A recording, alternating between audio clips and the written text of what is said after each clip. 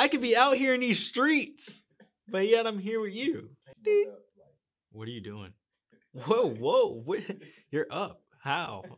You're just asleep.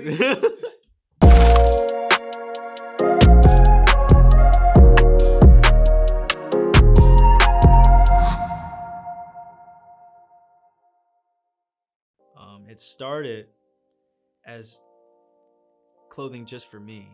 You know, I was seeing things other people were wearing. I was kind of like, man, I don't want to wear that. I things in the store that I really didn't care to wear also. And my mom's not buying me any anything hype, you know what I'm saying? Anything super expensive. So I was like, man, let me create what I want, you know, what I would wear. So I decided to just make clothes for myself. I'm not even thinking about selling anything. I don't even have a name, you know, just creating based off of what's in my mind.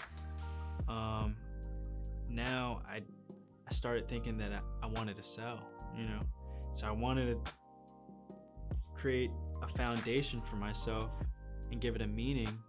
So I was like, man, what, what do I want to portray as my message? And I really wanted to give everyone a perspective on my life. Um, so I read a book by Phil Metzger named The Art of Pers- Perspective. Uh, and that's where the perspective aspect came from it. And P13, P meaning pariah, which is an outcast, which is me basically in high school, middle school. I was not the cool kid, you know what I'm saying? And the 13 I threw in because it's a pariah of all numbers. It's known as a, a unlucky number. It's shunned away from elevators. You won't see that number anywhere in any elevator.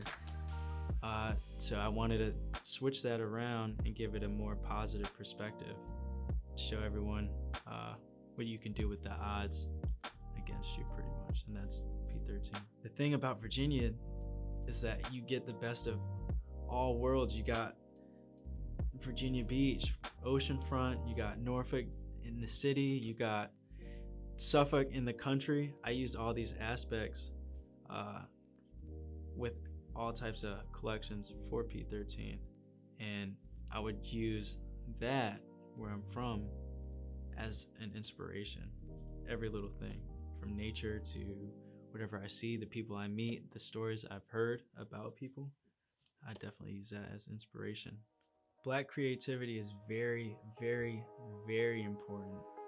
From culture alone, once you dig deep and find out where you're actually from, that culture is like one in, a million. You know what I'm saying? It's its own being, something that can't really be reciprocated. So once you stay true to who you are and who, like, through your roots, you'll shock the world, you'll change the world. As long as you stay true to yourself, don't try to look at all these other cultures and try to bite from them too much.